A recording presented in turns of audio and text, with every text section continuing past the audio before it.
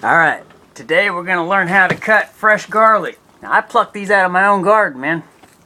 These are nice. See, they got dirt on them still, stuff like that, see? And so I just... I thought these were little little onions at first, like little green onions. They turned out to be the garlic that I planted a couple years ago. They just keep springing back back up every now and then. So I just, you know, get all the the crumblings off of them and, and uh, the hard stuff. Hey, what's up there, little ant? You have any some goodies? It's good, it's good. so, the ants like to eat it too, so it's all good, you know. The carrots, I never got around to finishing off the carrots, so the carrots are over there. Uh, uh, over there, the critters got to them, you know.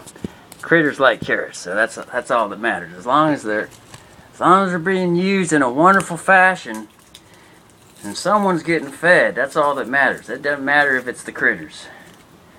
Someone got some benefit out of it. That's all that matters, you see. Here's an old one that kind of shriveled up, but you know, still got some goodness in it. If a guy was real hungry, he would eat that.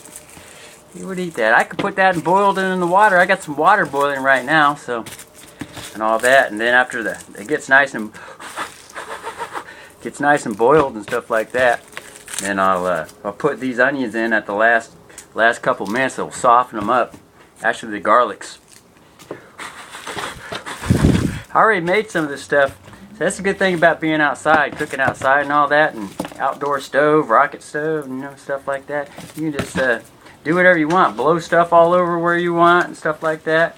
So what we're gonna do now is we're just gonna cut off the little rootlets right here real quick it's just a quick operation. Don't got to spend a whole lot of time doing it. Just got to make sure when you're when you're being quick, you don't want to cut off your fingers. That's the main thing.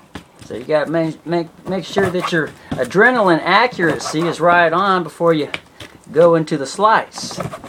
See, if you're, if you're quick, you can do that stuff.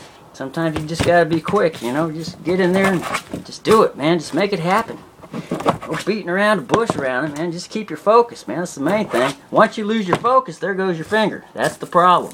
People don't, people, people, uh, a little, little bit of a lack of doing that goodness, okay?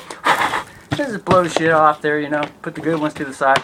And just, all this is garlic stem, man. It's just like green onions, man. Just cut them up into little dinky little things. Just like that. You gotta remember this three minute video, so basically that's how it's done. Then you cut the big ones up, you know, just kind of piece them up, just as long as they're good enough bite size and they'll get melted. So that's good. Three minute video. Bye. Three minute videos are way much quicker to upload. See you later.